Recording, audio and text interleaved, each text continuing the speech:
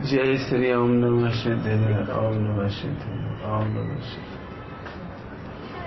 नमो हरिहन्तान्। नमो सिद्धान्।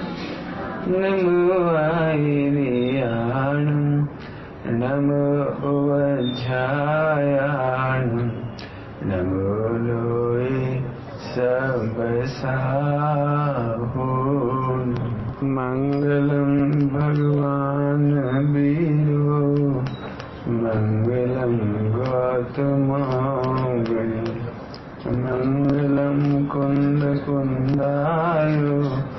जैन धर्मोऽस्तु मङ्गलम्।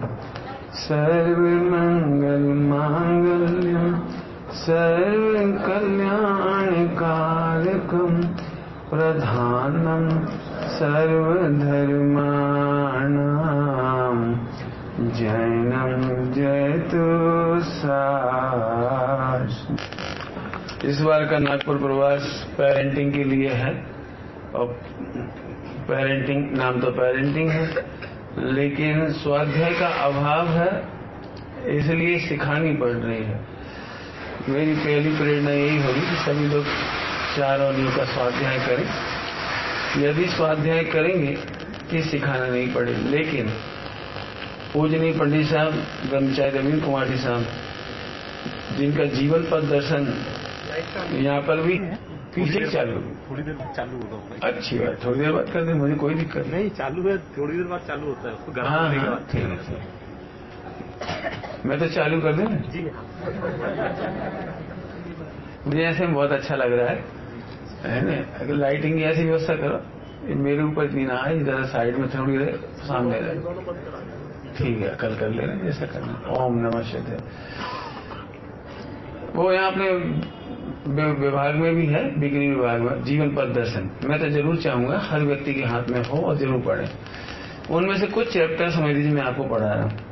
आज की तारीख में स्वाध्याय नहीं है और उस स्वाध्याय नहीं होने से हम गाइडेड तो हैं। एनवायरमेंट कह लीजिए, हम उससे गाइडेड हैं। आज की तारीख में जो हम देखते हैं, उससे हम प्रभावित होते हैं। जो कुछ हमें दिखता है, उसे हम सही मान लेते हैं, आदर्श मान लेते हैं, सुख का साधन मान लेते हैं। मेरी इच्छा तो यह है कि हम सब मिलकर के बहुत जम के डिस्कस करें। जैसे पार्लियामेंट होता है ना हमारे डिस्कस होते हैं सब्जेक्ट जैसे हमारे बीच में सब्जेक्ट डिस्कस होने चाहिए। इससे बहुत फ़ायदा होगा। आप डिस्कस करें, मैं कुछ बिंदु आपके बीच में रख रहा हूँ। आप उनका विचार करें। सबको पसंद आएगी मेरी बात, ये मैं नहीं कह सकता हूँ, क्योंकि बड़ी दुर्लभ है ये बात। लेकिन यदि मोक्षगामी जीवों को तो पसंद आएगी। जिन्हें स्ट्रेस नहीं चाहिए। आज की तारीख में जो कुछ हम सीख रहे हैं, वो टेलीविज़न से मोबाइल से इंटरनेट से सीख रहे हैं। और उसका फल ये हो रहा है कि दिनों दिन तनाव बढ़ रहा है, तलाक हो रहे हैं। हर व्यक्ति परेशान है, कह नहीं पाता है, लेकिन सोचता है, क्योंकि दूसरों के जीवन में घटनाएँ देखते तो अपने में लगता है कहीं ऐसा अपने ना हो जाए, कहीं हमारे बच्चों के तलाक नहीं हो जाए, कहीं हमारी बेटी परेशान नहीं हो, कहीं हमारा बेटा परेशान नहीं हो। लेकिन हम बहुत डेप्थ तक नहीं जाते हैं उनके सॉल्यूशन के लिए। फिर सोचते, चलो सारी दुनिया में ऐसे ही चल रहा है, तलाक हो गया तो क्या हुआ? जैसे एक समय बहुत बुरा मानते थे कि अपनी बच्ची किसी अन्य जाति के सामने लड़के के साथ चली जाए। चली जाए तो छोड़ो, सड़क पर घूमती भी मिल जाए लड़के के साथ तो बहुत बुरा माना जाता था। लेकिन आज की तारीख में कहना भी अच्छा नहीं लगता कि जितने गलत तरीके से घूमते हैं, बैठते हैं, उठते हैं, मोटरसाइकिल पर चलते दिखाई दे जाते हैं, बगीचों में बैठे मिल जाते हैं बिल्कुल सरे सरेआम घूम रहे हैं। इसका मतलब है माँ बाप ने सोच लिया, बिल्कुल ठीक है। कई बार ऐसा तब बहुत दुख लगता है जब मम्मी पापा ये कहते हैं, अरे, लड़की अपने आप शादी कर ले तो और अच्छा हमारी झंझट खत्म। न दहेज देना पड़े, न लड़का ढूंढना पड़े, न ज़िंदगी करनी पड़े, वो अपने आप भाग जाएगा, खत्म। मैं क्या कहूँ इस मामले में? मैंने एक समय का बदलाव है, वो अपन महसूस कर रहे हैं आइए, मैं गाइडिंग करने की कोशिश करता हूँ।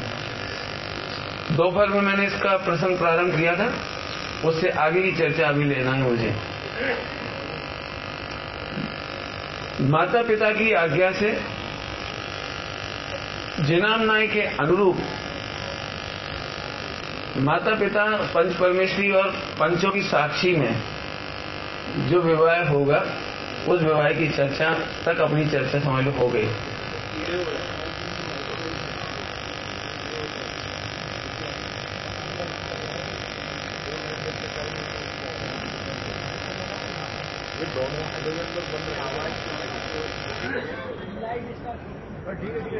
चलो ऐसे चले अब जी, लेकिन मुझे परेशान करेगा थोड़ी देर। चलो ये बस इतने चलने दो जो आ होगा तो ठीक है। वीडियो मत बनाओ कोई दिक्कत नहीं। चलिए मेरा बात बातें हों थोड़ी सी। अभी इस चर्चा को लेना चाहता हूँ। मैं ब्रह्मचारी हूँ हालाँकि लेकिन मैं आपको सॉल्यूशन बताना चाहता हूँ। स्ट्रेस का मूल कारण एक बहुत अच्छे शब्दों में कहूँ, एक ही शब्द में तो वो है, आज की तारीख के हमारे बच्चे बहुत पढ़ लिख करके पलायनवादी हो रहे हैं।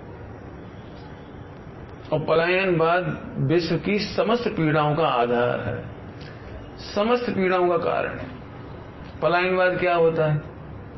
इसको हम ऐसे समझें।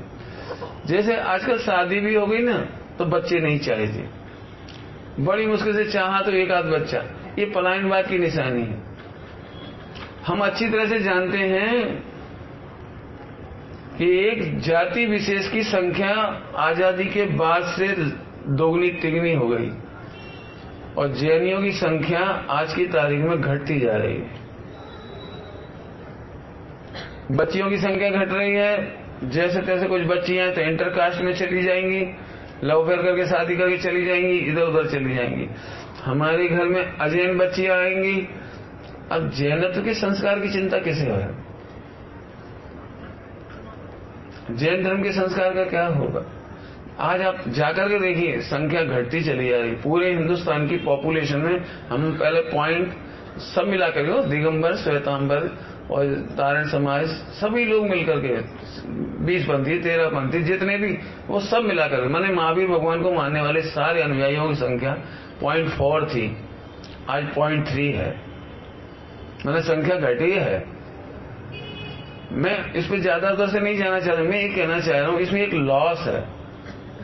घर में एक ही बच्चा पसंद किया जाता है, इसके पीछे एक बहुत बड़ा लॉस बताना मुझे। संस्कृति, वो क्या कहना, समाज की सामूहिक पॉपुलेशन उससे मुझे ज़्यादा मतलब नहीं है। लेकिन मैं दूसरी बात कहना आज की तारीख में आप जब कभी पुराण पढ़ो सुकुमाल चरित्र, सुकोशल चरित्र आपने देखा है? माँ को अपना बेटा इतना प्रिय था कि उसने मुनिराजों को तक दर्शन से बाध्य कर दिया कि मुनिराज को दर्शन तक ना मिले। समझ गए होंगे मेरा इशारा कल्पना करो जिनके घर में एक ही बच्चा है, एक ही बच्चा है, वो माँ बाप कब सोचेंगे कि मेरा बच्चा ब्रह्मचारी हो जाए? कब सोचेंगे कि मेरा बच्चा मुनिराज बन जाए? भी कब सोचेंगे कि ये आरिका बन जाए? भी कब सोचेंगे ये बात? यदि वो बच्चा जाते हुए दिखाई देगा ना मंदिर पाठशाला तो पति पत्नी में झगड़ा होता है। और भेज दो मंदिरों से। धर्म में धर्म में निकाल दो। अपना क्या होगा बुढ़ापे का? बुढ़ापे में अपने को कौन सेवा करेगा? समझ लोगे मेरा इशारा अब मेरी बात सुनने थोड़ी बुरी लगेगी। लेकिन मैं देख रहा हूँ चारों तरफ़ माँ बाप बच्चे के प्रति इतने आसक्त होते हैं कि धर्म में नहीं लगाना चाहती। मेरे पास ऐसे पेरेंट्स आते हैं, जब बच्चा बिगड़ जाता है, इकलौता बच्चा होता तो लाडला होता है। लाडला होता तो बिगड़ जाता है वो। बिगड़ जाने के बाद की घटना सुना रहा हूँ, एक लड़का एमएससी विदिशा में और रंग ढंग ठीक नहीं। तो उसके पेरेंट्स मेरे पास 20 साल पहले आए कि पंडित जी, ये थोड़ा सुधर जाए। अब संयोग से वो प्रवचन में आया तो सुधर गया। सुधर गया तो इतना ज़्यादा सुधर गया कि वो मेरे साथ ही जाने लगा।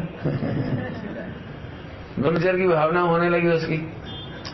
तो अब पेरेंट्स ने बाधा डालना शुरू करी। नाना प्रकार से दबाव डालने की कोशिश करी, वो ना जाए। तो हमको ये ऐसे तो ले नहीं जा रहे, कोई किडनैप तो कर नहीं रहे। बिल्कुल मत जाओ। आप घर में मम्मी पापा की सेवा करो, अच्छे से रहो, कोई दिक्कत नहीं। धर्म आराधना करते रहो।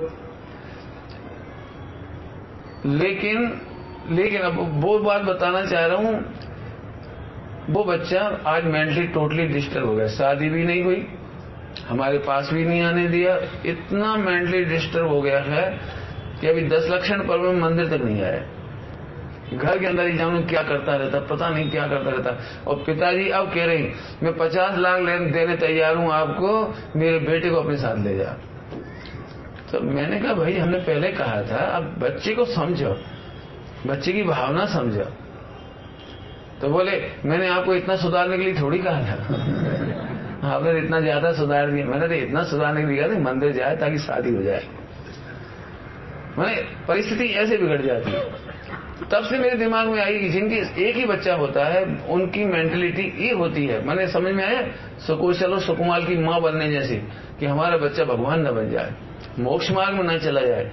इसलिए मैंने बहुत सोचने के बाद एक पैटर्न सोचा मैं नहीं मानता हूँ कि आप मान पाओगे मेरी बात लेकिन सही बात यह है कम से कम घर में चार बच्चे हों तो माता पिता निश्चिंत हो सकते हैं। बाई दबी एक बच्चा पढ़ लिख करके अमेरिका चला जाता है। आज आप देख ही रहे हो जैन समाज के बच्चे लगभग लगभग हम्म, बहुत ब्रिलियंट होते हैं तेज होते हैं पढ़ने लिखने में और माँ बाप भी खूब जान लगा के पढ़ा भी देते हैं उनको और वो अमेरिका चला जाता है। गुजरात का तो मैंने बहुत सुन रखा कि हर तीसरा तीसरा मेंबर गुजरात का।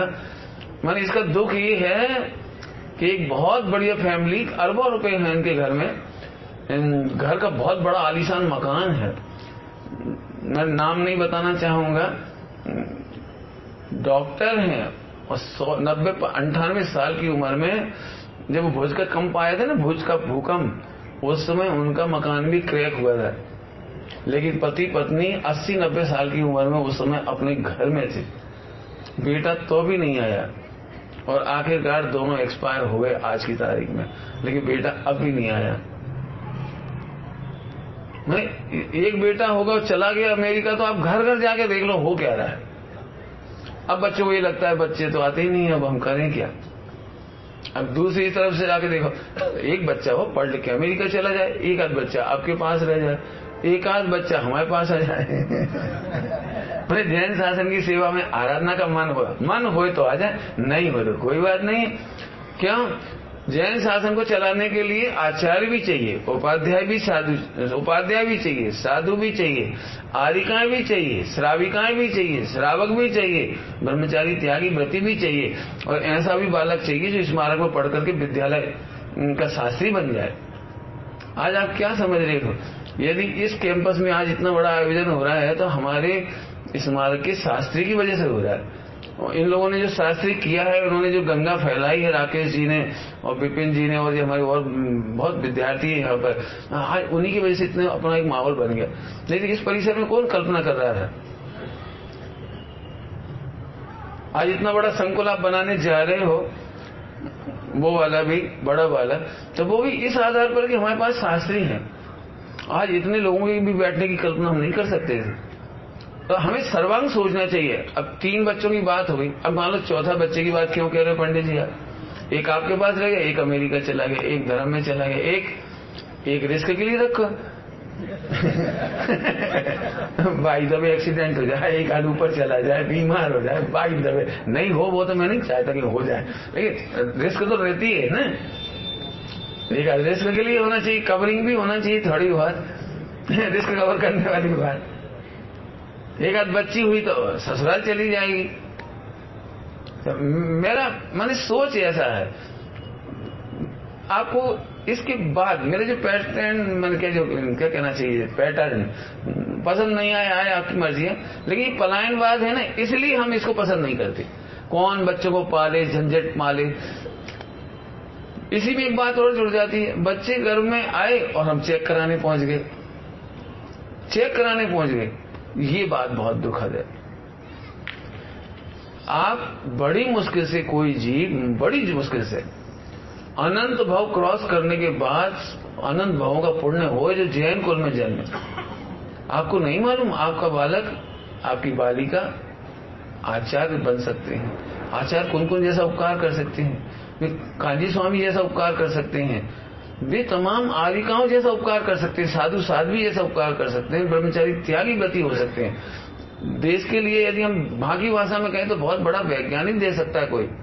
डॉक्टर दे सकते हैं आप, बहुत बड़ा देश के लिए। अरे राष्ट्रपति और प्रधानमंत्री बन सकता है। मैंने लोकी की तरफ़ से कह रहे हमारी तरफ़ से कहेंगे तो हम धार्मिक कहेंगे। हमारे गुरु जी बहुत अच्छी बात कहते हैं। सुनने जैसी बात। कई बार लोगों ऐसा लगता है चार बच्चे आ जाएँगे तो फिर पालेंगे कैसे? फिर खर्चा बहुत है, पंडित जी एक एक बच्चे को पढ़ाने में एक एक करोड़ लग जाता है। अब इसमें एक नई ट्विस्ट आ गई समझ लीजिए, शिक्षा। एक दिन हम शिक्षा प्रणाली पर पूरी चर्चा करना चाहेंगे। अभी उसको नहीं छेड़ना चाहेंगे। शिक्षा प्रणाली में बच्चों की शिक्षा और बच्चियों की शिक्षा। इसमें तो बिल्कुल संसद बैठनी चाहिए अपन लोगों की। हमें निर्णय करना चाहिए, हम पढ़ा क्या रहे हैं? आपके दुख का मूल कारण वर्तमान की शिक्षा प्रणाली है। मैं कुल ढाई हज़ार, तीन हज़ार रुपए लगे मेरी पढ़ाई के। ढाई, तीन हज़ार रुपए टोटल और मैं डबल एम मास्टर हूँ। मैंने डबल मास्टर मैंने एम कॉम और एम ए मैंने पढ़ाई कर ली पूरी, मेरी पूरी पढ़ाई हो गई।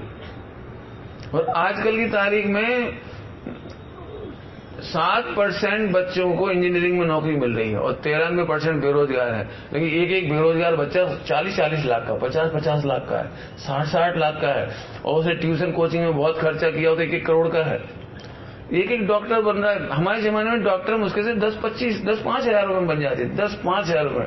आजकल तो साठ सत्तर लाख रुपए तो व्यापम में डोनेशन दे देते हैं। साठ साठ लाख एक एक करोड़ रुपए तो डोनेशन सीट मिल जाती है। मैंने आज की तारीख में कितना भी कम खर्चा करो तो एक करोड़, दो करोड़ रुपए से कम का एक डॉक्टर नहीं बन रहा। पहले अपन ये तो नक्की करो, हमें पढ़ाना क्या है? ऐसी शिक्षा प्रणाली है। मैं नहीं कह रहा हूँ ये बात। आप चाहें तो हमारे जो राष्ट्रपति थे, कलाम साहब, आप उनके विचार पढ़ लीजिए। हमारे बापू गांधी जी गांधी जी के विचार पढ़ लीजिए आप। गांधी जी इसको कहते थे अर्थ करी विद्या, माने पैसा कमाने वाली विद्या। कलाम साहब कहते हैं कि आज की शिक्षा प्रणाली का सबसे बड़ा दोष है कि इसमें नैतिक मूल्यों का हिरास हो रहा है। मैंने बहुत खराब, मैं थोड़े दो चार एग्ज़ाम्पल दूँ तो जल्दी समझ में जाएँगे आपको बात। जैसे ये छोटे छोटे बच्चे ना, ये छोटे छोटे बच्चे, ये मोबाइल ग्रैंड फादर से बढ़िया चला लेते। तो ग्रैंड फादर मानो इन बच्चों को बेटा, इधर आना चिंटू क्या हुआ? बेटा कहाँ से चालू होता है? तो इतना सा बच्चा जो कक्षा एक दो पढ़ रहा होगा या नर्सरी पढ़ रहा होगा, उसके बोलने की टोन, देखो आप कितनी अभिनयशील होती है। और वो दादा, आपको इतना भी नहीं आता? बच्चा ऐसे बोलता देगा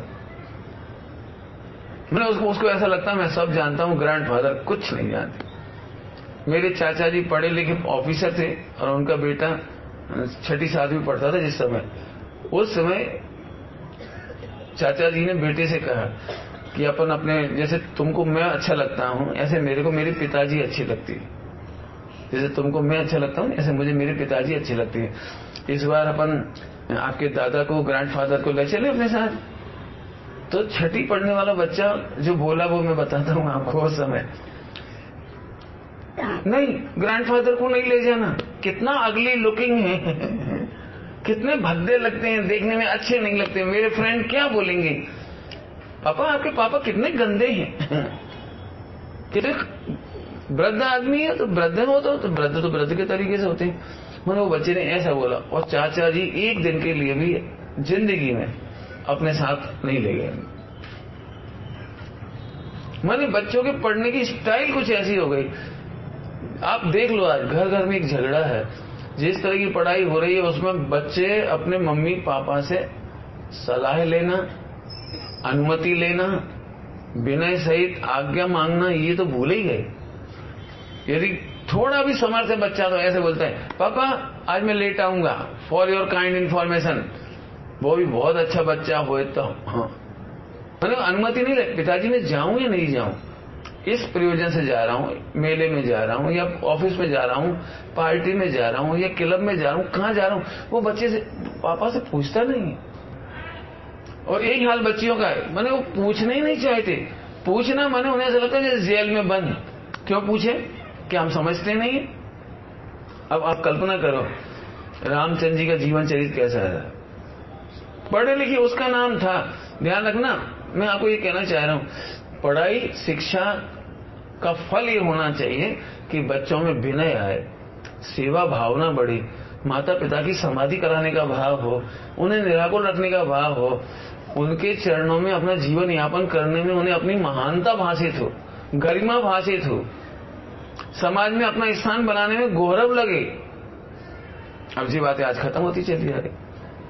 तो शिक्षा प्रणाली एक तरफ़ महँगी हो रही है और ये चीज़ें सीखने को मिल रही है बच्चों को। आज की तारीख में शिक्षा प्रणाली में मुझे ज़्यादा कहना तो नहीं, लेकिन बीच में बात आई, इसलिए मैं कह रहा हूँ। मेरी बहुत सारे बच्चियों से हॉस्टलों में बात होती है। हॉस्टलों मतलब आत्मार्थी ट्रस्ट में जाना होता है, उदयपुर में होता है, और भी समाज के बच्चे मिलते हैं। तो जब मैं उनसे पूछता हूँ, आप क्या पढ़ना चाह रहे हो, कैरियर क्या बनाना चाह रहे हो तो वो ही बताते सारे हम सीए बनना चाहते हैं इंजीनियर बनना चाहते हैं डॉक्टर बनना चाहते तो मैंने कहा, मैंने पूछा उनसे कि आप, क्या आपका हस्बैंड नहीं कमाएगा? आपको ही कमाना पड़ेगा सब कुछ। फिर रसोई कौन बनाएगा? बच्चों को कौन पालेगा? सास ससुर की सेवा कौन करेगा? मैंने बहुत बड़े ज़िम्मेदारी वाला पार्ट तो कोई पूछता ही नहीं। तो बच्चियाँ मुस्कुरा कहती हैं, हमें ऐसा घर नहीं चाहिए जिसमें सास ससुर हो। आजकल की बच्चियाँ साफ़ कह देती है जेठ जेठ वगैरह हो तो हमसे, हमको शादी नहीं करना। हमको ऐसा आदमी चाहिए जो अकेला रहता हो। लेकिन भाई, अकेले रहोगे तब आपको पता क्या होगा? आपके सील पर सौ अफसर होंगे, हज़ार अफसर होंगे। अकेले नहीं रह सकते आप। पति एक्सपायर हो जाएगा, फिर क्या करोगे? पति बीमार हो तो क्या करोगे? बच्चे होंगे तो क्या होगा? और आस पड़ोस की नज़रें खराब होंगी तब क्या होगा? लेकिन उस तरफ़ दृष्टि नहीं जाती। ये, मैंने कहा कि दृष्टांत पलायन पलायनवाद की। ये पलायनवाद के दृष्टांत हैं सारे। माँ बाप की सेवा नहीं करना चाहती बहुत बड़ा पलायनवाद है। सास ससुर की सेवा के नाम पर तकलीफ़ है बहुत बड़ा पलायनवाद है। और बहुत बड़ा बच्चों का पालन नहीं करना चाह रहे ये पलायनवाद है। और आप देखते जाओ जैसे जैसे पढ़ लिख कर तैयार हो रहे हैं बच्चों की क्वालिटी सोशल नहीं बच रही है सामाजिक धार्मिक नहीं बच रही है। और उसी का फल आ रहा है कि स्ट्रेस बढ़ता चला जा रहा है। बहुत दुख के साथ कहना पड़ रहा है कि अब हमें इस बात में खुशी हो रही कि नागपुर में कौन सा ओल्ड एज होम बहुत अच्छा है? गवर्नमेंट भी गर्व से कहती है, हम इसके लिए सुविधाएँ देने वाले हैं, बढ़ाने वाले हैं। और लोग खुश होते हैं, तालियाँ बजाते हैं हाँ ये ओल्ड एज होम बहुत अच्छा है। इसका मतलब समझ में आ रहा है आपको? पूरे हिंदुस्तान में एक भी ओल्ड एज होम नहीं था। पूरे हिंदुस्तान में माता पिता की सुंदर समाधियाँ हुआ करती थी। घर घर में चर्चा हुआ करती थी। अरे भैया उन्होंने उनकी बहू ने बड़ी सेवा करी। अब ये बात उल्टी हो गई। अब ओल्ड एज होम और ओल्ड एज होम से चले जाते हैं आईसीयू में। आईसीयू तो समझते ही होंगे हम लोग। नवडी कैंट सी यू अब ऐसे स्थान पर पहुँच जाते हैं। नमोकार मन सुनने का भी स्थान नहीं बचता वहाँ पर। तो इन बातों की एंगल से आप सोचिए कि हमारी जीवन जीने की कला कैसी होनी चाहिए विधि कैसी होनी चाहिए? एक बात पूरी हुई, अभी दूसरी बात। बच्चों की ड्रेस दोनों की ड्रेस के बारे में कहना है मुझे थोड़ा इस संस्कार देने की बात है। दुख इस बात का है, मेरे पेरेंटिंग वाला यदि आप लेख पढ़ोगे, उसकी पहली लाइन लिखी है मैंने। बच्चे निर्दोष हैं, उन्हें बिगाड़े नहीं। पहली लाइन है, बच्चे निर्दोष हैं, उन्हें बिगाड़े नहीं। मैं बिगाड़ने के बहुत सारे एग्ज़ाम्पल उसमें लिखे मैंने छोटा सा बच्चा नहीं कहता, आप हमें स्लीवलेस कपड़े पहनाओ। छोटी सी बच्ची नहीं कहती, आप हमको विदेशी हीरोइन की तरह सजाओ, बाल काट दो, या फला कर दो, या चाय जैसे कपड़े पहनाओ, या चाय जैसा मेकअप लगाओ। ये छोटे बच्चे होते हैं दो साल का, डेढ़ साल का, वो नहीं कहता, आप हमारे लिए मोबाइल दीजिए, खेलने के लिए। लेकिन जरा बच्चा रोया और मोबाइल पकड़ा दिया।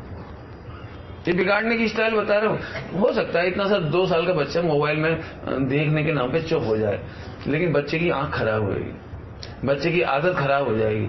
मैंने ऐसे बहुत सारे एग्ज़ाम्पल दिए हैं कि जब बड़े होने पर लोग कहते हैं, पंडित हमारा बच्चा बिगड़ रहा है, उसे कैसे सुधारे? तो मैंने, बच्चा नहीं बिगड़ रहा है, आप बिगाड़ रहे हो उसे। बहुत सरल दृष्टान दूँ आपको। आपके पास छह महीने का बच्चा हो, उसने कभी कंप्लेंट नहीं की कि दूध में शक्कर नहीं। दूध में शक्कर डालना हमने सिखाया उसे। बच्चे को आप ककड़ी पकड़ा दो सीधे मुँह में डाल देगा, एक बार भी रोता हुआ नहीं चेहरा दिखाई देगा। वो ये नहीं कहेगा, मुझे जीरा मन चाहिए। मैंने, मैं कहूँ, एक छोटा सा बच्चा होता है ना, वो साधुओं जैसा रस परित्यागी होता है। वो वो कोई भी चीज़ आप उसे दे दो उसकी कंप्लेंट नहीं करता है। टॉफी खाना आपने सिखाया उसे, बिस्किट खाना आपने सिखाया। आइसक्रीम खाना आपने सिखाया। मेरा मतलब है कि आप जो सिखाओगे, वो सीखेगा वो। तो कपड़ों के मामले में मुझे कहना है। मैं फिर कहता हूँ, हो सकता है मेरी बात आपको समझ में इसलिए नहीं आएगी, क्योंकि आप टेलीविज़न देख रहे हैं, आप इंटरनेट देख रहे हैं, आप दुनिया देख रहे हैं। मैंने कितना दुखद लगता है आज की तारीख में।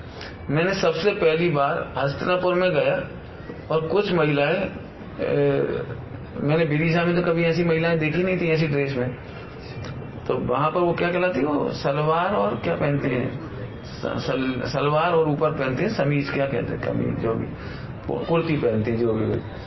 और सिर पे उसी तरह का बिल्कुल पंजाबी जैसे लग रहे थे सब लोग। तो उन्होंने पूछा कि आपने सुमत प्रकाश जी को देखा है तो मैंने सोचा पंजाबी लोग सुमत प्रकाश जी क्यों ढूंढ रहे हैं?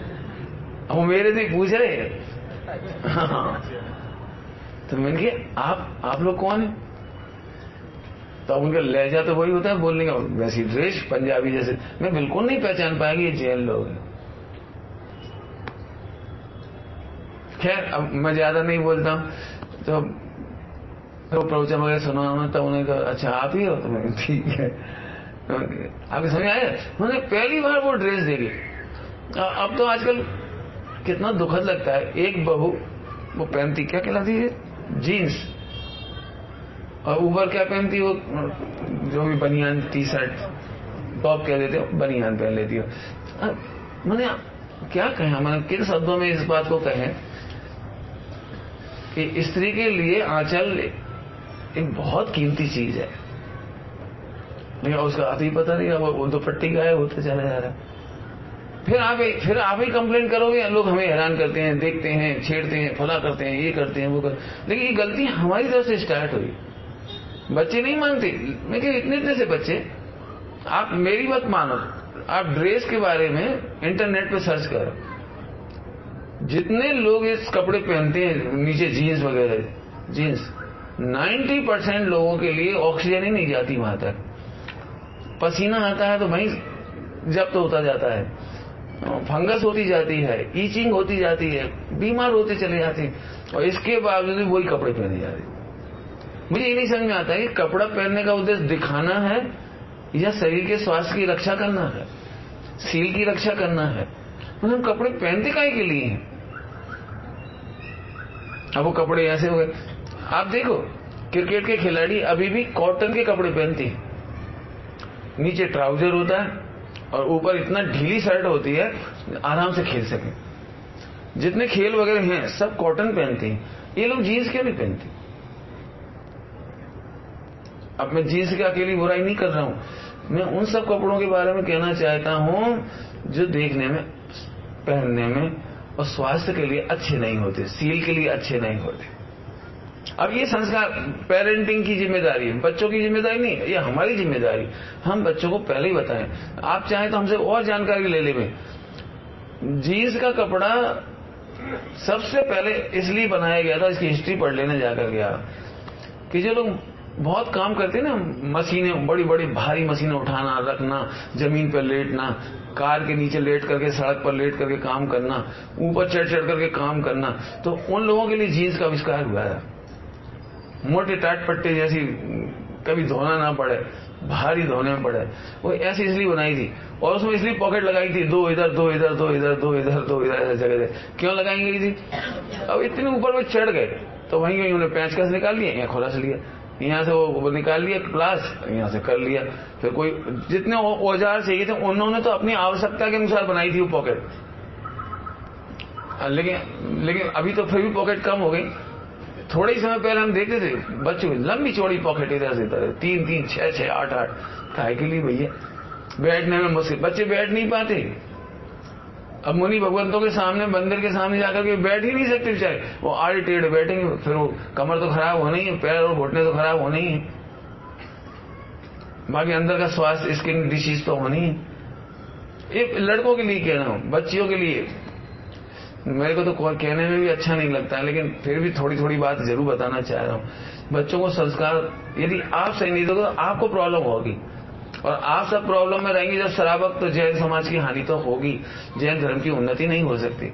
तो बच्चियों के कपड़े ध्यान रखना। और बच्चों के कपड़ों में मुझे एक बात और कहनी है थोड़ी सी बच्चे जो बैठे हैं अपने गुरुकुल के विद्यापीठ के बच्चे हैं, सब लोग ध्यान से सुनना बेटे। हो सकता है मैंने पहले भी कहा हो, मैं अभी भी कह रहा हूँ। बच्चे यदि अंदर बनियान ना पहने और शर्ट ना पहने तो पैंट इतने नीचे सरक गए हैं, वो देखने में अच्छे नहीं लगते। अंडरवियर इतनी छोटी बनने लगी हैं कि यदि मम्मी, भाई भी, घर में बहन, किसी के सामने यदि भाई तो कपड़े बदलना हो, पैंट चेंज करना हो तो शर्म की बात हो जाए। झुक नहीं सकते। आजकल के बच्चे झुक नहीं सकते। मोटरसाइकिल पर पीछे बैठे जा रहे हो और यदि शर्ट ना हो तो आप देखो क्या स्थिति होती है। तो बच्चों के लिए सबको ध्यान रखना कि इन के कपड़े नहीं होना। बच्चियों के लिए भी ऐसे कपड़े नहीं होना। फिर से एक बात मैं कहता हूँ, आप सब समझ लेना। फिल्मी हीरो, हीरोइन हमारे आदर्श नहीं है। क्या बोला हमने? फिल्मी हीरो, हीरोइन हमारे आदर्श नहीं है। वे तो करोड़ों रुपए का वो पैसे लेते हैं, वो मॉडलिंग करते हैं मॉडलिंग और उनको तो पिक्चरों पिक्चरों में काम करने पर उन्हें तो सब पैसे मिलते हैं। कपड़ों के भी पैसे मिलते हैं उन्हें तो। खिलाड़ियों को खेलने के पैसे मिलते हैं, क्या क्या तुम्हारी जैसा छह छह करोड़ दस दस करोड़ में कैसे बिक जाते हैं खिलाड़ी? उनको तो मॉडलिंग और प्रचार करना है। हम इन बातों को ज़रूर समझें। कुल मिलाकर इतना मुझे कहना है कि ये अवेयरनेस पेरेंटिंग की है मेरे माँ बाप की है। हम बच्चों को कुछ पेरेंटिंग करें, उससे पहले हमें समझना चाहिए कि बच्चों की ड्रेस कैसी हो खान पान कैसा हो खेल कूद कैसा हो। अभी खेल कूद के संस्कार की बात करो। समझ ही गए होंगे आप लोग। बच्चों की बीमारी की मूल जड़ है कि आउटडोर गेम खम, खत्म होते जा रहे मोबाइल में गेम खेल रहे इसका पीछे भी एक वो वाली बात फिर बताता हूँ मैं। हमारे जमाने में तो हमने टीवी नहीं देखा। हमारे जमाने में तो मोबाइल, गेम वगैरह तो थे ही नहीं हमारे जमाने में। लेकिन उसका एक कारण था। हमें मोहल्ले में इतने सारे बच्चे थे, और परिवार में, और घर में इतने बच्चे थे। चार चार छह छह भाई बहन होते थे तो आपस में ही खेलते रहते थे। एक दूसरे का ध्यान रखते थे, पढ़ते थे, पढ़ाते थे, एक दूसरे को पढ़ाते थे। आजकल के बच्चे जब अकेले होते हैं तो मम्मी के पास एक ही उपाय, मोबाइल खेलो। अब बेचारे मोबाइल का आदि हो गए। मैंने अपने घर में देखा। भतीजा है, अकेला रहता है। तो मोबाइल से खेलता रहता है। लेकिन जिस दिन तीन चार कजिन मिल जाते हैं, मोबाइल छूता ही नहीं है वो। और खूब खेलता है, आराम से आउटडोर गेम खूब खेलते हैं। तो बच्चों के खेल आपको सेट करने हैं। बच्चा क्या देखे टीवी पर, ये आपको सेट करना है। क्योंकि बच्चा केवल दृश्य नहीं देखता पॉइंट नोट करना आप, वो सीखता है। क्या कहा हमने? जो कुछ वो देखता है, वो सीखता है। हमें इस एंगल से देखना चाहिए। चलो। थोड़ी आगे की बात करता हूँ। बच्चों को डराए नहीं। क्या बोला हमने बच्चों को? आपको पता है, सम्यक दृष्टि के आठ अंगों में से पहला अंग कौन सा है? निशंकित अंग। और निशंकिता में एक बात आई सत्य भयों से रही। मुझे दो बातें बतानी है इसमें भी। एक तो बच्चों को भय नहीं पैदा करें। भय का मतलब समझ गया आप?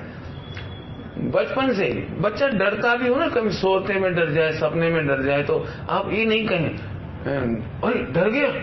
इतना सा चक्कू रख ले, काला धागा बाँध ले मिथ्यात का संस्कार है बेटा, बोलो नहीं, भूत आ जाएगा। चुप, बाबा पकड़ ले जाएगा। ए, पुलिस वाला ले जाएगा। कई बार मेरे साथ ऐसा होता है, हम भोजन करने जाते हैं और बच्चा डरता है बेचारा। बच्चा सामने नहीं आता और जैसे जैसे आ भी जाता तो मम्मी कहती नमोकार मन सुना तो नमोकार मन नहीं सुनाता। कविता नहीं सुनाता। और डरता रहता एकदम। यानी क्यों ये डर क्यों रहा है? अरे पंडित जी, बहुत तेज है, बहुत चाल, क्या कह रहा था ये? बहुत तूफानी छोक रहा है। पता नहीं आपके सामने नहीं बोल रहा भाई। तो मैंने कहा, ज़रूर आपने से कहा होगा, चुपचाप बैठ गए ना, पंडित जी आ रहे हैं। तुमने कुछ किया तो पकड़ के ले जाएँगे पंडित जी मारेंगे पंडित जी डांटेंगे। मतलब आपने बच्चे के सामने हमारी ऐसी इमेज खराब कर दी कि बच्चा हमें देखते ही डर जाए। हमें देखते ही सोचा जी पंडित जी कब घर से जाए। समझ गए बच्चों को भय का संस्कार नहीं दे। मुझे इसमें एक बात कहनी है। यदि आप चाहते हो कि आपका बच्चा सम्यक दृष्टि हो तो बचपन से ही उसको सम्यक के संस्कार दो संस्कार की जो पुस्तक लिखी ना आपने बहुत संस्कार सुधा निकाली जो बहुत जोरदार है। वो सबको पढ़ने जैसी उसकी प्रिंट निकाले और रखी हो तो सबको लेना चाहिए। घर घर तक पहुंचनी चाहिए उसको। सम्यक के संस्कार होने चाहिए। सम्यक संस्कार समझ गए?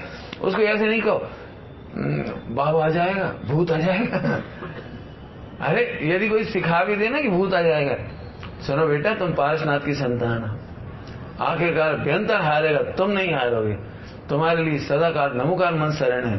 कोई भय लगे तो नमुकार मन पढ़ो बेटा, कभी कुछ नहीं हो सकता। मैंने उसे निर्भयता की कहानियाँ सुनाओ। पारसनाथ की कहानियाँ सुनाओ, और ऐसी कहानियाँ और छांटो पुराणों में से। देखो बेटा, सीता जी नहीं डरती थी, अग्नि में कूद गई थी। लेकिन देखो, नमुकार मंत्र ने रक्षा की बेटी। देखो द्रौपदी का नमुकार मंत्र, देखो चीर बढ़ता चला गया। मैंने हमारा मतलब बच्चों को भयाक्रांत करने वाली कहानी नहीं सुनाई। ऐसी बात नहीं बताइए। ये बेटा, ऐसा हो जाएगा? मैं तो इस मामले में भी एक बात और कहना चाहता हूँ। आप बच्चे को समझाएँ ज़रूर, लेकिन नरक का भय मत दिखाओ। हर बात पर, आप बच्चों से वही पूछ लो, क्यों बेटा, झूठ बोलने वाला कहाँ जाता है? नरक में, बस पक्का। दो चार बार तो डरता है थोड़ा बहुत, इसके बाद तो बेधड़क कहता है नरक। देख लेना आप बोल करके। क्यों, मम्मी हर बात पर ए झूठा छोड़ोगे? नरक चले जाओ ए, भला करोगे? पाप लगेगा? नरक चले जाओगे ऐसा नहीं हो सकता है कि हम उसे स्वरूप समझाएँ और उसे कहें, बेटा, ऐसा नहीं करोगे तो स्वर्ग जाओगे। और बेटा, सम्यक दर्शन प्रकट करोगे, आत्मा में रमोगे तो मोक्ष जाओगे। फिर हो सकता है वो कभी पूछे, ये नरक, स्वर्ग मोक्ष क्या होता है? पाठशाला में उसको उसका उत्तर मिल जाएगा। आप भी दे सकते हो। आपको मालूम ही होगा, सारी दुनिया में फ़ेमस है। मम्मी, माता पिता एक बच्चे की पहली पाठशाला है। यदि आप सम्यक दर्शन चाहते हैं तो बच्चे से सम्यक दर्शन की बातें करिए। सम्यक का माहौल बनाइए। उसे भयभीत मत करिए। थोड़ी सी बातें और कर दो, थोड़ी सी बातें। मिथ्यात के संस्कार नहीं डालना, इसलिए मैं कह रहा हूँ। बात बात में हम कह, ऊपरी आत्मा का असर है? मैं ये कहना चाह रहा हूँ, बच्चों के सामने चार लोग भी ऐसी बातें मत करो। और कोई व्यक्ति, अजैन, बैठ करके ऐसी चर्चा करे तो उनसे, उस समय बच्चे को हटा दो वहाँ से क्योंकि बच्चा जब ऐसी बातें सुनता है ना, चार लोग बोलते हैं, अरे भैया, वो पीर, अरे पैगंबर। और वो क्या कहलाता है, वो पीपल का पेड़, बट का वृक्ष। वहाँ भैया, रात को बारह बजे भूत घूमता है। ऐसी बातें मत करो। और झड़वा लो, और फुगवा लो। ऐसी बातें मत करो बच्चों के सामने। बच्चे, ध्यान रखना, बच्चे किताबों में से शायद हो सकता है दस, बीस बार में सीखे, लेकिन माहौल से एक बार में सीख जाती क्या बोला मैंने आपको? बच्चे माहौल में एक बार में सीखते आप देख लेना, यदि आप डरते होगे तो आपका बच्चा भी डरपोक होगा। आप वीरता की बातें करोगे तो आपका बच्चा भी वीरता की बातें करेगा। संस्कार बहुत प्रकार के हैं। जैसे हमने एक भाई की बात करी ऐसी बहुत सारी, बोलो आप क्या क्या चाहते हो? तो मैंने तो लिस्ट बनाई आपको तो लिस्ट पढ़ के सुना पूरे तो मैं सुनाऊँगा तो तो बहुत समय लग जाएगा। यदि आप चाहते हो ना, बच्चे में दस धर्म के संस्कार हो, ताकि वो मुनि बनकर के मोक्ष जा सके तो सुनो, आप क्षमा का वातावरण बनाइए बच्चा क्षमा सीख जाएगा। आप विनय का व्यवहार करिए, बच्चा विनय सीख जाएगा। आप सत्य बोलिए, बच्चा सत्य बोलना सीख जाएगा। आप ब्रह्मचर्य का पालन करिए। ब्रह्मचर्य का पालन करिए, मैंने सील की नौ वाणों का पालन करिए। बच्चों के सामने कुशील बातें नहीं करिए, अश्लील गाने मत गाइए, अश्लील हरकतें मत करिए। अश्लील दृश्य मत चलने दीजिए, अश्लील फोटोग्राफ, फ़ोटो मत लगने दीजिए। बच्चा सीलवान हो जाएगा।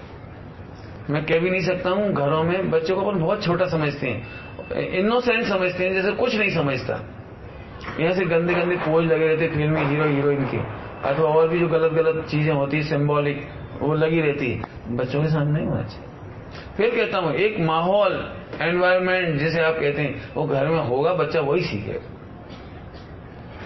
आप मौन पूर्वक खाएँगे, बच्चा मौन पूर्वक खा के देगा आप आपने देखा होगा कभी कभी जब मैं भोजन करने जाता हूँ या कोई विद्वान आते हैं घर में या मुनिराज आहार लेते हैं। आपने देखा है बच्चों को? उस दिन बच्चा मौन से खाता है। उस दिन वो थाली धोके पीता है। उस दिन कहता हम भी मुनिराज बनेंगे मम्मी, हमें पढ़ा मैंने छोटे छोटे बच्चे। इसका क्या मतलब? बच्चे एक बार में सीखते हैं। इसकी बहुत सारी वीडियो है मेरे पास, कलेक्शन में रखी है। यदि मम्मी चिल्ला के बात करेगी तो बच्चा भी चिल्ला के बोलेगा। और करके देख लो। यदि आप बच्चे से अच्छे, आइए बेटे, भोजन कर लीजिए। नहीं मम्मी, अभी भूख नहीं है। ऐसे बोलेगा तुम आ रहे कि नहीं आ रहे? जल्दी रोटी खाओ। नहीं आ रहे। मैंने आप चिल्ला के बोलोगे तो बच्चा चिल्ला के बोलेगा। आप प्रेम से धीरे से बोलेंगे तो बच्चा भी धीरे से बोलेगा आप बच्चे से कहिए, जाओ बेटा, दादाजी को बुला लो, भोजन कर ले। तो वो भी, दादाजी, मम्मी बुला रही है आपको भोजन करने, चलो। ऐसे बोलेगा और आपने कहा, जाओ दस का रोटी खा लें।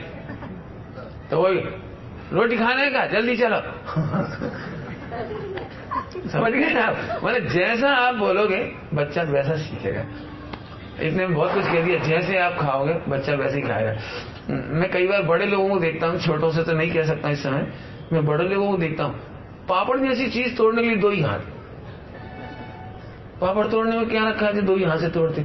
इतनी नरम रोटी बिचारी। तो उसे दो हाथ से तोड़ रहे यहाँ तक कि बर्फ़ी खाना होगी तो बर्फ़ी को भी दो हाथ से। मैं कुछ कहना चाह रहा हूँ। मुझे दो हाथ से भोजन करने का संस्कार अच्छा नहीं लगता। इसकी तकलीफ़ कब आएगी पता है? जब आप मेरे साथ भोजन करो, या कभी बड़े बुज़ुर्गों के साथ भोजन करो, या जो सोच का भोजन करते हैं, उनके साथ भोजन करो। अब आपने ऐसा कर लिया। अब हमने कहा जरा चक्कू देना तो आपने झूठे हाथ से चक्कू दे दिया। अब चक्कू झूठा हो गया। हमें जरा पूरी का टिफ़िन देना। आपने पूरी का टिफ़िन दिया तो वही झूठा हो गया। अब हमने पूरी मांगी तो आपने उसमें हाथ डाल दिया। तो वो भी चला गया काम से। मतलब पीने का पानी आपने झूठा हाथ लगाया? अब वो पूरा जग झूठा हो गया। अब दूसरा व्यक्ति ले ही नहीं सकता उसमें से जब आप बड़े लोगों के पास, गुणवानों के साथ बैठोगे, तब आपको शर्म आएगा हॉस्टल में मैं हमेशा बच्चों को देखता हूँ। आपने देखा हो मैं इन बच्चों के बीच में जब भी जाता हूँ, शाम के टाइम भोजन करते देखता हूँ। तो मैं इन बच्चों को देखता हूँ। तो मैं बच्चों को इशारा करता हूँ, एक हाथ से खाई एक हाथ इतना अच्छा होना चाहिए कि जिस हाथ से आप कोई चीज़ ले सकें दे सकें परस सकें ले सकें। अब ऐसी गंदी आदत पड़ जाती है ना तो फिर वो अब बहुएँ समझ लो ऐसे खाए पिए और सब झूठा कर दिया। मैं एक छोटी सी घटना सुनाता हूँ। एक ब, एक बहू थी मुझे भोजन बना के करा रही थी। छोटा सा गाँव था। कोई बात नहीं ये तो सिंपल बात है भोजन कराती है इस तरह से। लेकिन गलती देखो जब गलतियाँ होती तो कैसे होती? उस बहू ने मेरी थाली पहुँच करके कपड़े से, चौके का कपड़ा है तो उसे थाली पहुँच कर उसने ज़मीन पर रख दिया कपड़ा। तो ज़मीन पर रख दिया, वहाँ तक तो चलो, कोई बात नहीं। तो मैंने अब इशारा किया कि कपड़े को, इशारा मौन हो चुका था, मैंने कपड़े को उठाना नहीं। बहू ने कपड़ा देखते ही समझ गई कि ज़मीन पे नहीं रखना था। तो उसने उसे उठा के थाली में कनक में रख लिया। परात के अंदर, परात में आटा रखा हुआ था, उसमें रख अब मैंने ऐसे किया। क्योंकि मैंने सोचा था कि वो टच नहीं करे। अब पड़ा रहने दो टच मत करना। दूसरा कपड़ा इस्तेमाल कर ले। उसने उसमें रख दिया। अब जैसे मैंने सिर पर ऐसे करा तो अब वो और समझ गई। और अपने गलती कर दी। ज़मीन का कपड़ा इसमें रख दिया, इसमें नहीं रखना चाहिए था। तो फिर, पंडित जी, उठना मत प्लीज़ मैं दूसरा आटा ऑप्शन दे दिया। तो उसने वही कपड़े का हाथ और वही कनक का हाथ, बिल्कुल सकरे हाथ, उसने आटे में डाल दिया मैंने फिर हाथ ऐसे किया। अब मैंने कहा टेंशन नहीं करो। बिल्कुल मतलब टेंशन क्या करवाने इशारा किया? कुछ मत करो। आप छुओ भी मत। वो दाल सब्ज़ी वहीं रखी थी, चावल रखे थे। मैंने दाल सब्ज़ी चावल परस लिए और चुपचाप खा लिया। मैंने अब मेरा भोजन अच्छे से हो गया। डोंट वरी आगे से सही रहना बस, छुट्टी। अब गलती कैसे होती? समझ में आ गई कुछ?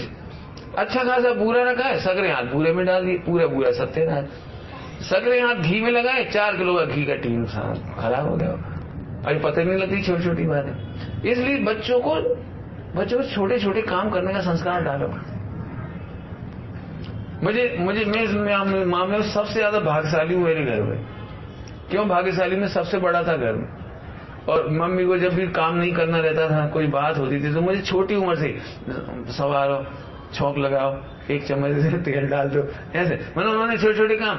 अब बच्चे थे ना छोटे छोटे गर्मी के दिनों में बाहर खेलने जाना नहीं है। तो मम्मी के साथ गेहूँ धुलवा रही, पापड़ बेल रही, फला कर रही।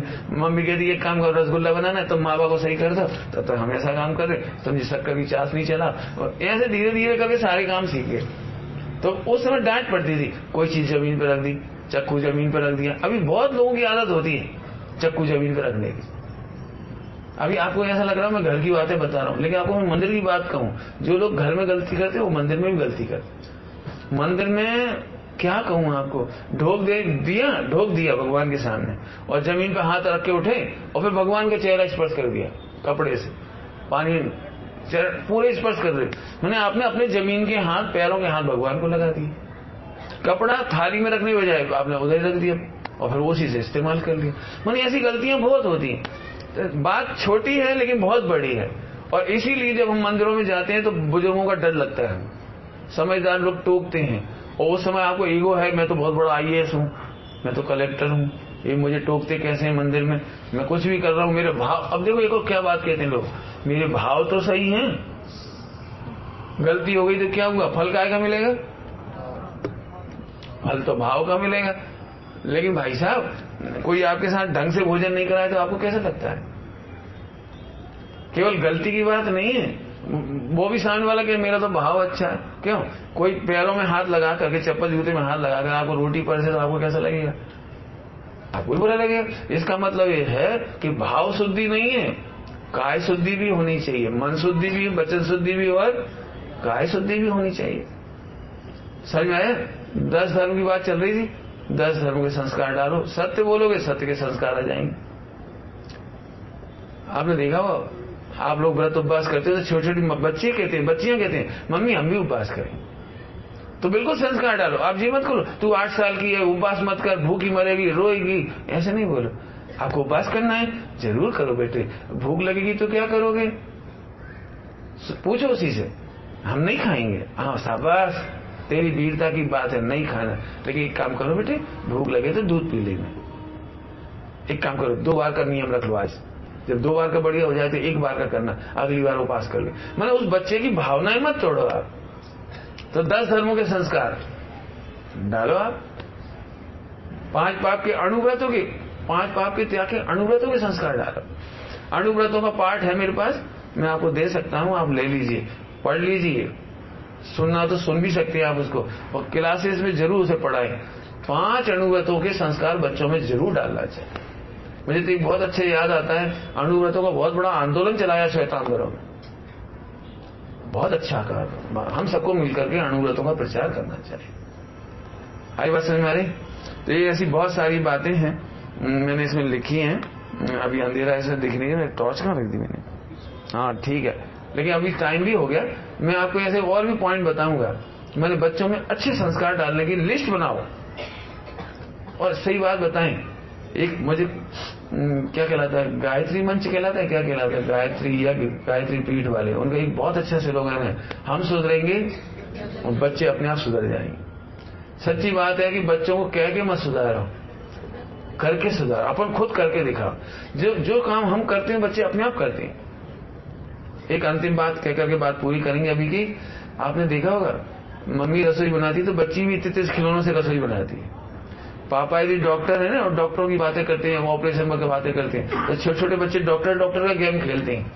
ये छोटे छोटे बच्चे स्कूल से आते हैं ना तो आठ दस बच्चों को बिठा लेते हैं। बैठो sit down open your book A for apple बच्चे को पढ़ाई लगे मैंने बच्चे जो देखते हैं, वो सीखते हैं।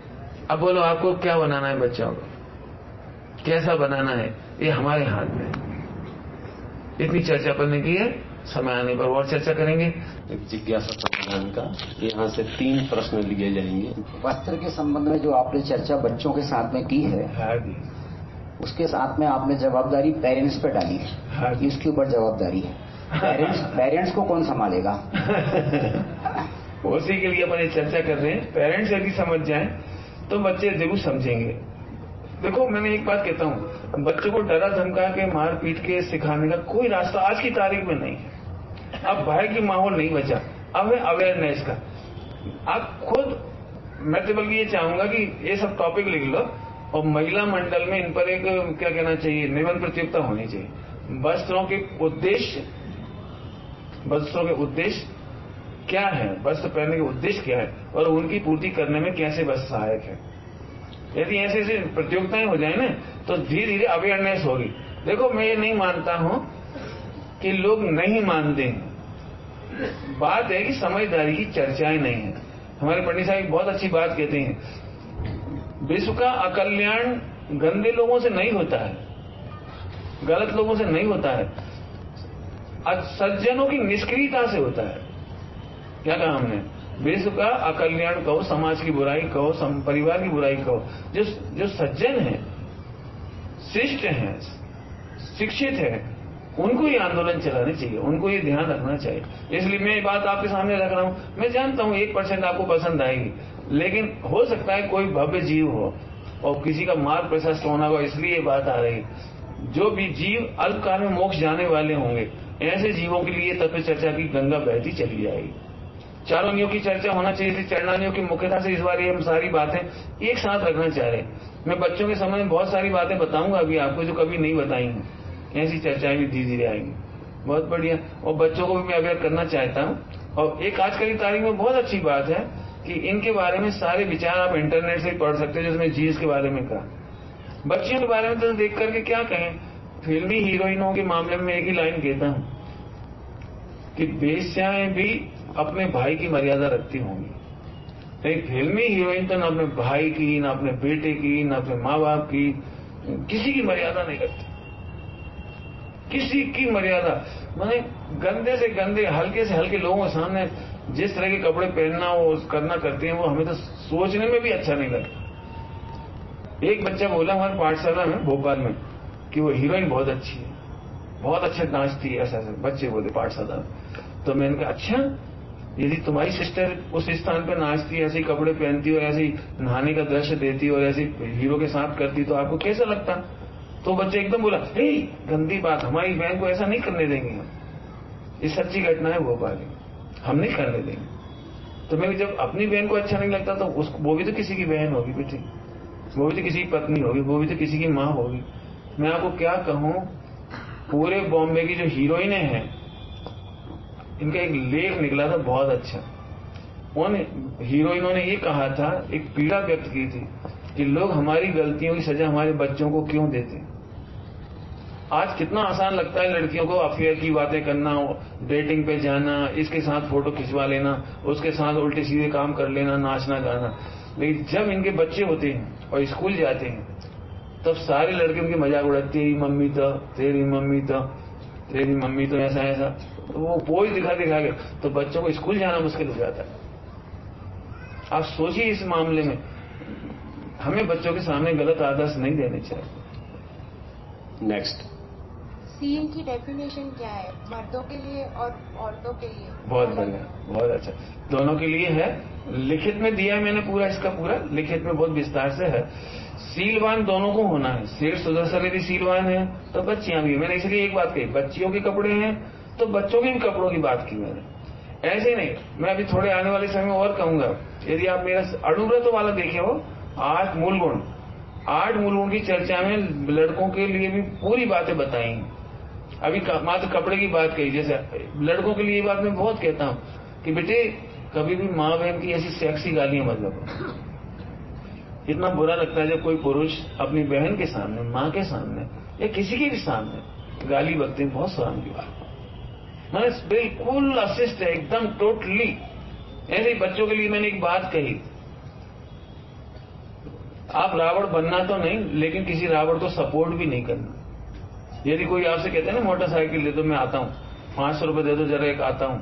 एक लड़की से मेरी डेटिंग चैटिंग चल रही जरा पैसे दे दो, मैं इसको गिफ्ट दे दूँ। आप ऐसे रावण का भी सहयोग नहीं करना इसमें तो एक पूरी एक डेढ़ घंटे का मैं लेक्चर करूँगा, यदि समय रहेगा तो सील के ऊपर पूरा एक डेढ़ घंटे का लेक्चर करूँगा। और यदि आप लेना चाहें तो मैं उसके ऊपर लिखे थे पूरा। मैंने लड़कों के लिए भी उतना ही लिखा है, और बच्चियों के लिए भी अपनी अपनी बच्चियाँ जानकर, अपनी बहन जान करके उनके लिए भी पूरी बात लिखी। बहुत बढ़िया। पूरी चर्चा बाद में आ जाएगी इसकी। हाँ लास्ट क्वेश्चन हाँ जी। आज की ये गलत समस्या है कि मोबाइल बच्चे बहुत देखते हैं। हाँ और इसमें क्या होता है कि सुबह का भोजन तो बच्चे कर लेते हैं बिना बिना मोबाइल की क्योंकि उस समय क्या रहता है कि सूर्यास्त का कुछ चक्कर नहीं होता। लेकिन शाम का समय हाँ। यदि वो उनको हमें सूर्यास्त के पहले भोजन कराना है तो बहुत जल्दी रहती है और वो उनको कोई धार्मिक, कोई ऐसी कार्टून वगैरह जो बिराजी द्वारा है, उनको दिखाते हैं। और वो जल्दी से भोजन कर लेते हैं। और इस चक्कर में आपने बता तो दिया कि मोबाइल नहीं देखें, लेकिन उसका उपाय क्या करें? बच्चे, कैसे बच्चा जल्दी भोजन कर ले? तो ये ये पूरा पार्लियामेंट का सब सवाल है। अपन सब मिलकर डिस्कस करें क्यों करना आपको। मेरे पास तो कोई है नहीं। है आपके पास? आप सबको मिलकर सोचना ही बच्चे मैं ये कहता हूँ केवल अवेयरनेस एक बहुत अच्छी चीज़ है। चर्चा बहुत अच्छी चीज़ है। मैं आपको ऐसे उपाय बताऊँगा थोड़े से भी कि बच्चों को मोबाइल से दूर रखने के लिए बहुत अच्छी चीज़ है। कुछ तो मैंने बताई दिया आपके घर में चार बच्चे होंगे तो बच्चे व्यस्त रहेंगे, खेलेंगे, कूदेंगे और बच्चों को कंस्ट्रक्टिव गेम लाइए आप अब बच्चों के साथ यदि बच्चे अकेले हैं घर में तो फिर मम्मी को उसके साथ खेलना चाहिए। पापा को खेलना अब अपन क्या करते हैं? बच्चे को अकेला रूम में छोड़ दिया। अपन टीवी देखने लगे या सो गए, या उसको टाइम ही नहीं दे रहे।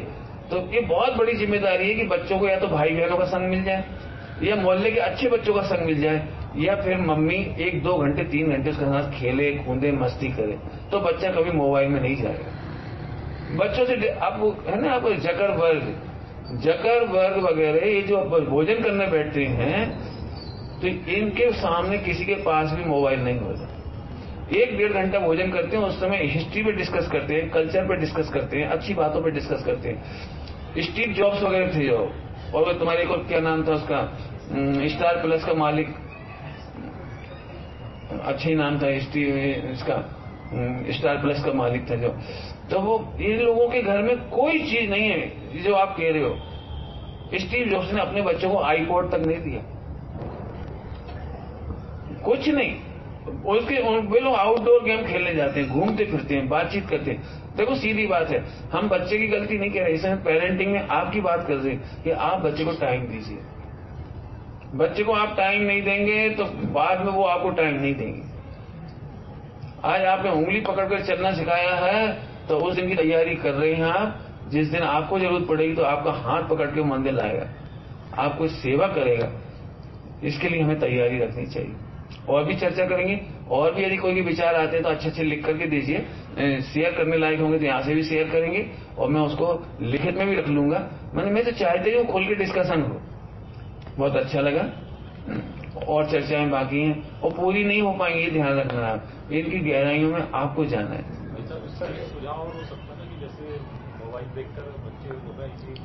हैं हाँ। तो अगर हम पर्सनली पेरेंट्स अगर भोजन करने के लिए दस मिनट समय निकालें उनको करवाने के लिए। चर्चा, अच्छी वो बस वही तो बताया गया। तो वही अभी बताया बैठे एक साथ बैठे भोजन करें अच्छी अच्छी बातें करें। अरे, बहुत काम है बच्चों को सीखने, सिखाने के लिए मैनर्स की बातें करें।